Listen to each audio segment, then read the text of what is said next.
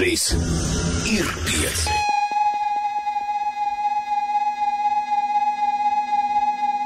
Šis ir Latvijas Rādio 5 raidījums uz riteņiem. Tas klausāms katru otrdienu, 2007. Latvijas Rādio 5 tiešraidē.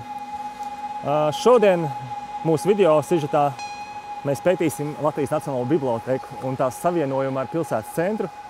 Pasīsimies, kāda ir plānot jaunā velo būve, veloceļš centrs Ziepniekalns un sapratīsim, ko varētu nākotnē uzlabot.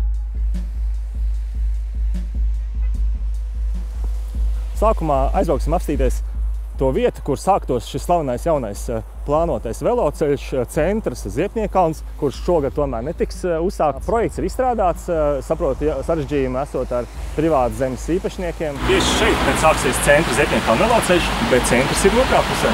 Latvijas Nacionālā biblioteka ir tāda iestāde, kas tiešām aicina riteņbraucējus pie sevis.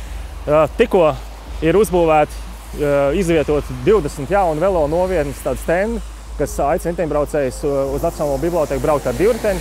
Pavasarī noteikti daudz vairāk cilvēku to izmantos, bet arī ziemā tas jau notiek. Lūk, šeit divi jau ir novietoti un ļoti liela iespēja, ka viņiem nepieciešams nokļūt uz centru. Lai šķērsotu akmens tiltu, ir divas iespējas. Viena pa ietvi.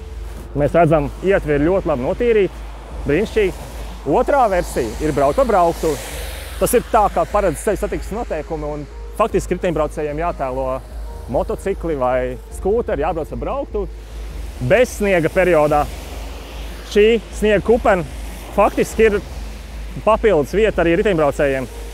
Lai būtu droši velojosli, būtu nepieciešama aptuveni divi šādi sniega blāķi, apmēram 1,60 m. Tā būtu tā zona, 1,60 m. Patiesībā akmens tilts nav nemaz tik ļoti noslogots.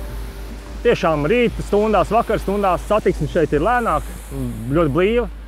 Bet uh, kā jūs redzat, sestdienas dienā automašīnas brauc mierīgi, neskrien, jo visām galā ir 90 grādu pagrieziens. Tas nozīmē, ka automašīnas ātrums jāsamazina faktiski līdz 20 km/h, kas ir ļoti vidējs riteņbraucēju ātrums, īpaši pa kalnu lejā. Mēs arī parādām pagriezienu, protams. Pēc ceļu satiksmes noteikumiem sanāk, ja mēs braucam tai pa labi, tad mums ir visu laiku jāturās labējā joslā. Bet, nu, protams, mēs arī varam parādīt pagriezienu. Automašīnas mūs redz un pārkārtojamies. Strēlnieku laukums ir viens no atslēgas elementiem visā šajā sistēmā. Latvijas Nacionālā biblioteka, akmens tilts, centrs, vecrīga, strēlnieku laukums. Un beidzot varam iebraukt vecrīgā, bet nē, šeit ir ķieģelis, tātad arī riteņbraucējiem. Jātālo gājēji un turpinām braukšanu. Aiziet šo neiedzību ar ķieģeli var ļoti vienkārši atrisināt. Līdzīgi kā avotielā tika uzstādīta papildu zīme, izņemot riteņbraucējus tieši uzreiz zem šīs iebraukšana aizliedzošais zīmes.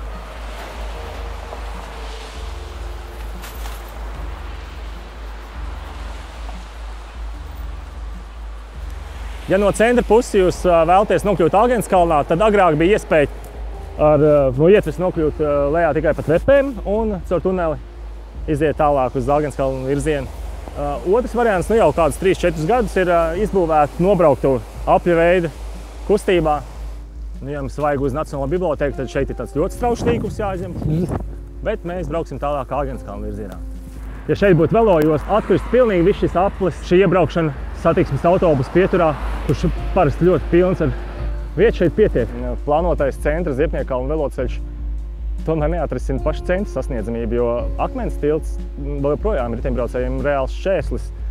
Viens variants, kas, manuprāt, ir iespējams, tas gan prasa arī strēlnieku laukumu, noteikti nopietnu pārdomāšanu un pārdizainēšanu, ir velojostas uz akmens tiltu abos virzienos, katrā virzienā sava.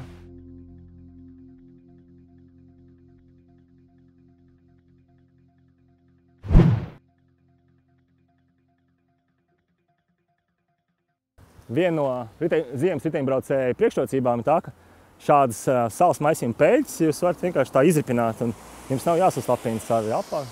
Zaiga gaila tādā veidā saudzē savus labos arhitekts apavus.